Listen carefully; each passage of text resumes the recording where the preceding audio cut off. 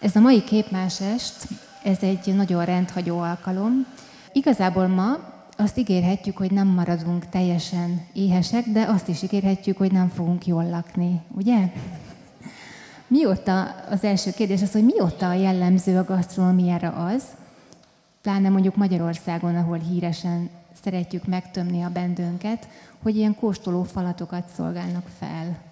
Hát van ennek egy műfaja, igen, ez a ö, kóstoló falat, most finger foodnak hívják, ez a divatosabb elnevezése, de van az a catering műfaj, ahol ö, kimondottan kérik, hogy nagyon kevés ételt adjunk, hiszen egy protokolláris étkezésnél kellemetlen, hogyha az emberek hagynak a tányéron falatokat. Ott nagyon fontos feladat, hogy nagyon kis csipegetni való kerüljön csak a tányérra.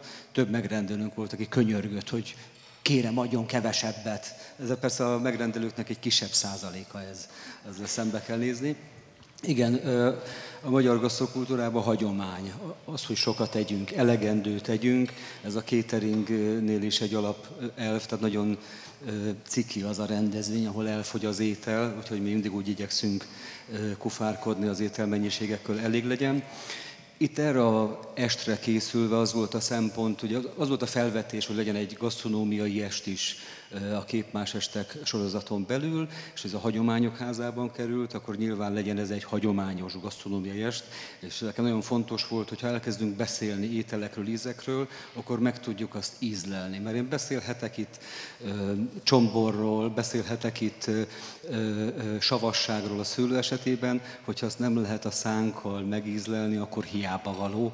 Ezért készítettünk egy ilyen kis összeállítást, ősz lévén a szőlő körül, és igyekeztünk a szőlő minden aspektusát, a szőlő minden részét, amit fogyasztunk itt bemutatni, és megkóstolhatóvá tenni.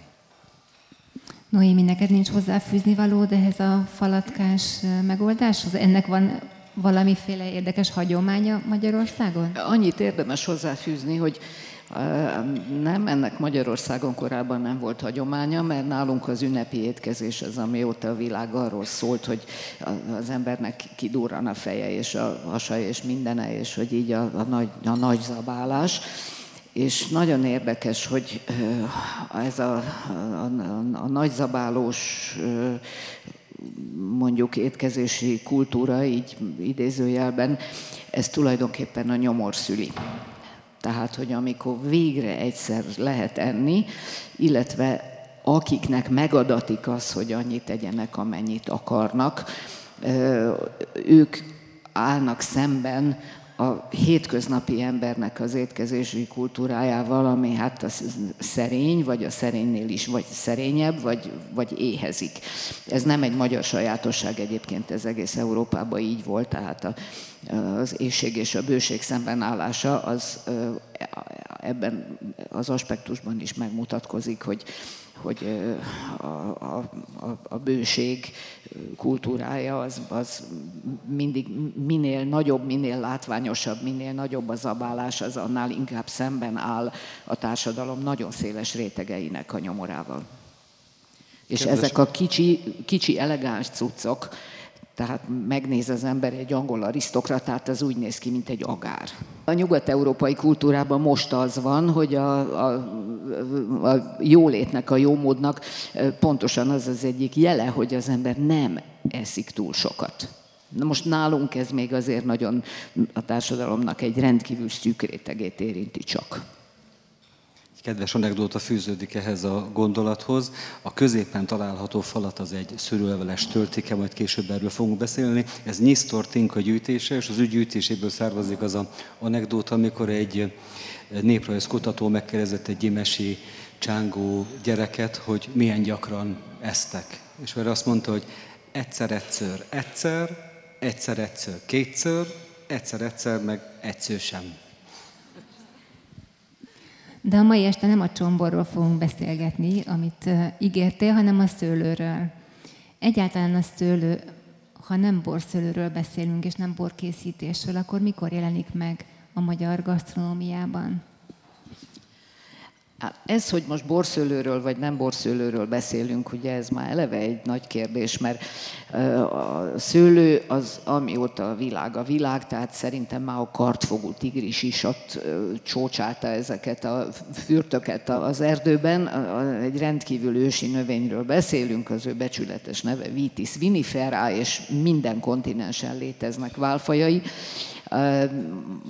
Európában egészen biztos, hogy már a római kor előtt is szőlő művelés folyik, tehát nem csak, hogy használják a szőlőt, hanem, hanem művelik is a szőlőt, már termesztik a szőlőt, így vagy úgy fákra futtatják egyébként, ez a leggyakoribb. Magyarországon a kelták tól már, tehát a rómaiak ideérkezése előtt már szőlő művelésnek vannak nyomai, és a rómaiak aztán ezt igen nagy tökélyre viszik, és amikor megjönnek az ős magyarok, az ős magyarok már tudják, hogy mi az, hogy szőlő meg bor, mert ők már levédiában foglalkoznak vele így vagy úgy, és az államalapítás környékén, meg az azt közvetlenül követő időkben a magyar gazdaságnak az egyik oszlopa, az egyik legfontosabb pillére, az a a szőlőtermesztés és a, a borkészítés. Tehát, hogy ez egy borzasztó ősi hagyomány. A borkészítésnek azért volt akkora jelentősége, mert eleink igen bölcsen fölismerték, hogy aki bort iszik, az nem kap kolerát. Tehát, hogy nagyon sok helyen rossz volt a víz, vagy bizonytalan minőségű volt a víz, és akkor innentől kezdve Európának abba a felébe, ahol teremszőlő, ott az emberek bort isznak, ahol nem teremszőlő, ott sört főznek, és sört isznak, ugye ott is hatalmas üstökbe, katlanokba fel kell forralni a vizet, és akkor aki a sört megissza, az megint csak nem kap kolerát. Mindenki más, meg akinek egyikből se jut, az megissza a vizet, azt akkor kolerát kap. És akkor nem csak díszletnek vannak ezek a szép tányérok, Szerintem, Tóni, az lenne jó, ha javasolnál nekünk valamilyen kezdést, hogy megbontsuk ezt a kompozíciót. Én a nagy sárga pöttyel kezdeném, és nagyon kíváncsi vagyok, hogy felismerik-e, hogy mit esznek. Ami nem pohárban van, hanem mellette. Puliszka, így van. A puliszka nyilván énséges időkben végigkísérte a táplálkozásunkat, még Nyugat-Európában egyébként a, tehát az akkori búzáknak sokkal kisebb volt a termés átlaga, és ezért kezdték el még Nyugat-Európában a krumplival, Kelet-Európában pedig sokkal inkább a kukoricával helyettesíteni. Ez egy klasszikus erdélyi puliszka recept, nagyon egyszerű, egyébként egy felfőzött, enyhén ízesített kukorica málé, egy kukorica dara főzet, egy panádot kell főzni. Itt mi hidegen adtunk fel. Jellemző volt ezt a napi kétszeri étkezés során, amiről az előbb beszéltünk, ezt reggelire, vagy egy kései reggelire fogyasztották, nagyon sokszor akár lekvárral, ha már volt lekvár persze, de volt, hogy csak magában, vagy esetleg tejjel, esetleg édes tejjel felöntve.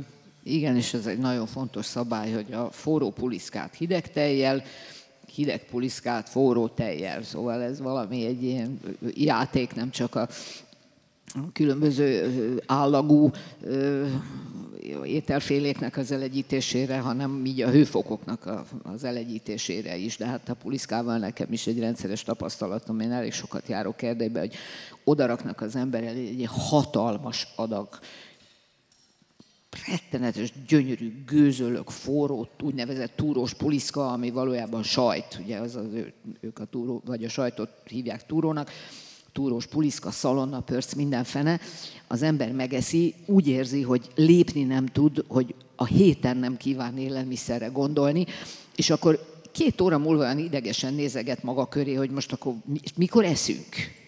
Szóval egy nagyon-nagyon becsapós kaja. Ennél az ételnél pici játékot őztünk, készítettünk egy szőlőmártást, aszalt szőlőből, tehát mazsolából, és azzal öntöttük nyakon, ezzel megidézve ennek a kisi erdélyi reggeli hangulatát, és beidézve a szőlőnek azt a formáját, amit a napon aszalnak és készítenek el. Akkor nézzük a következő falatot. Ö, mehetünk tovább a tányéron. A következő tétel melegen füstölt kacsamell darab, és amivel bevontuk, vagy ami, ami került rá, az az izgalom a szőlőből készült, azt pekmeznek hívják. A pekmez más néven mustméz, ami a cukor elterjedésével teljesen elveszett vagy eltűnt a gasztrokultúránkból. Ez ötödére, hatodára befőzött szőlő mustból készül. Édességként, cukor helyettesítésre a mai napig használják az arab világban, sőt, még a cukor előtt a baklavá nevű süteményt is ilyennel készítették.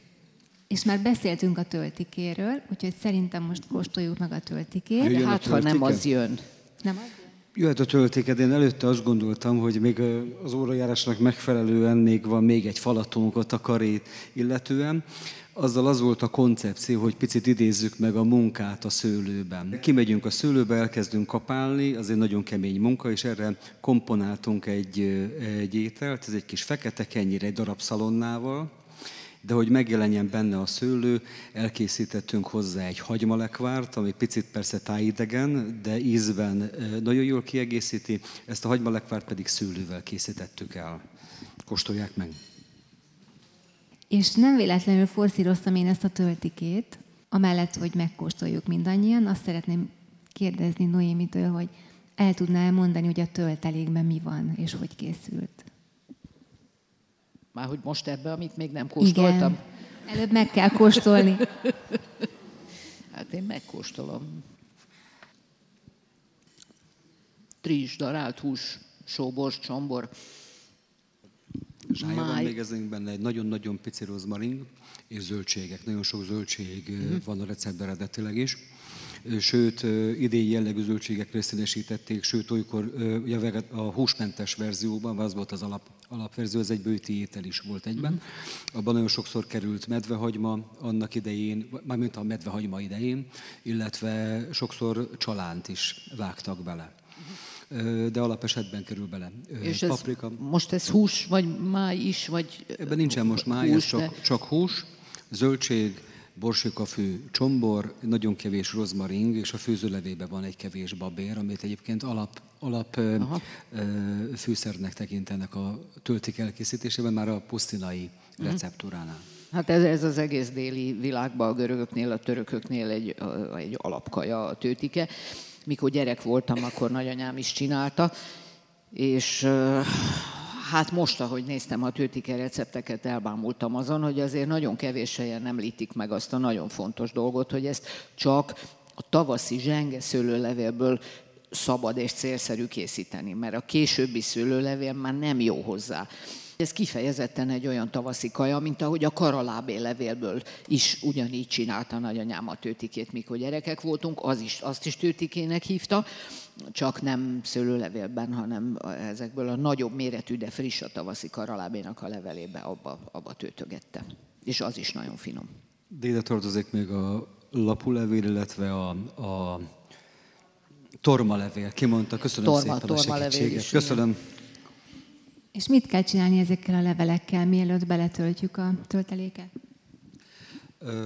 sós, sós vízben áztatják, illetve van, amikor hőközlik, tehát hogy megfőzik előtte valamilyen szinten, de a zsengeleveleket elég a sós vízbe beáztatni. Ugye van, hogy a, a eleve olyan vizet hoznak, ami ásványvíz, és annak eleve van egy ilyen puhító hatása, tehát hogy mondjuk olyan sós vízzel érlelik, de alapvetően sós kell, sót kell a vízbe tenni, és hagyni, hogy egy picit megpuhuljon. Nagymama blansírozta ezeket a leveleket, ami azt jelenti, hogy egy pillanatra forró vízben mártotta, és akkor nem törik az a levél, akkor egy picit veszít ebből a rugalmatlanságából az eres része, és könnyebb volt vele bánni, úgyhogy én ezt láttam gyerekként, hogy, hogy ez történik, és én el voltam zavarva a fortyogó fazék közeléből ilyenkor.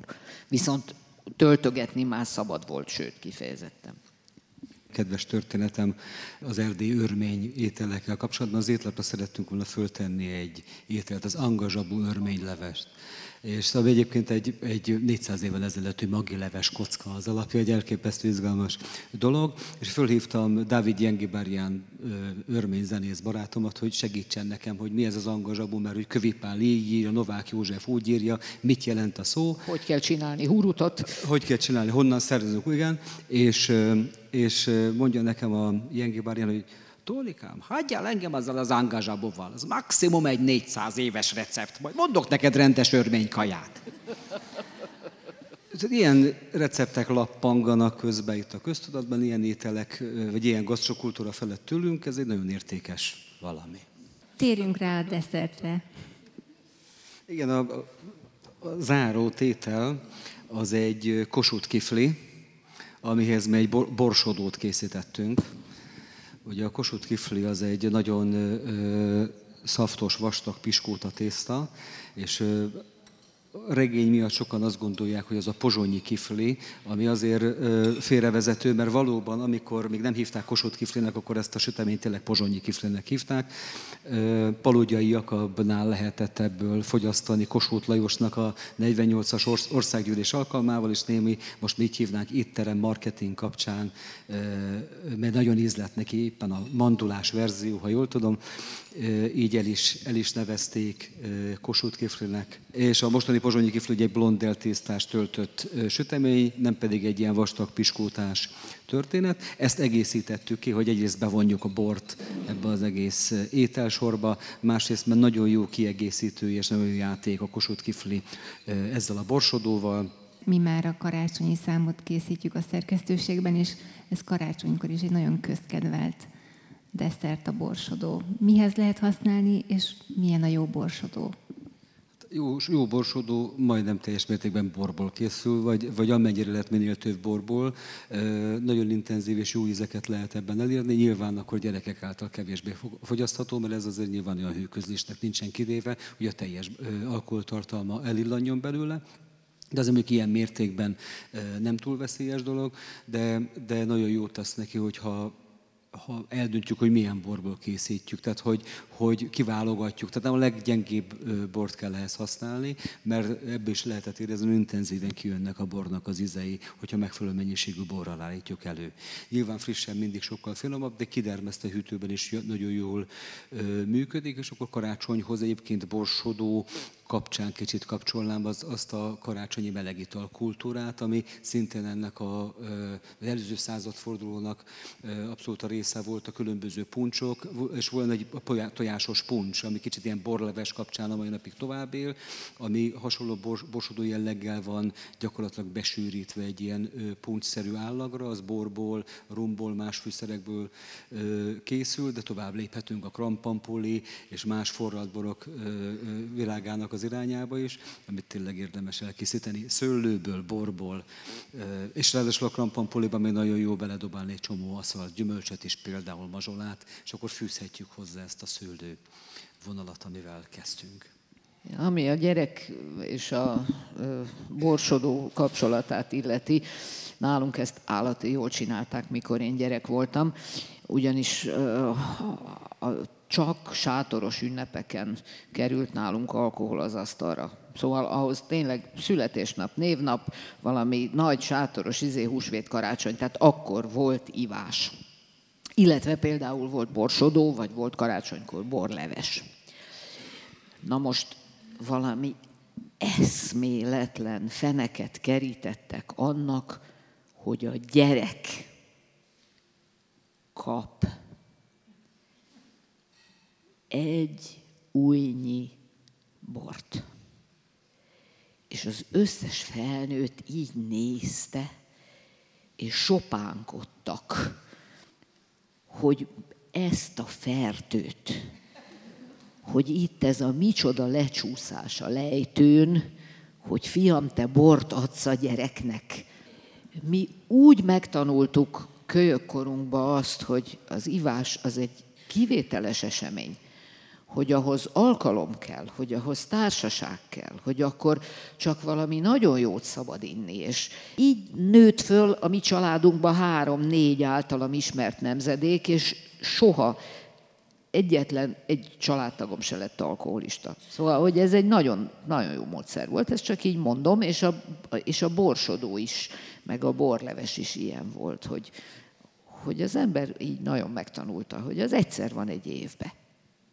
És akkor, akkor sopánkodunk, hogy a gyerek.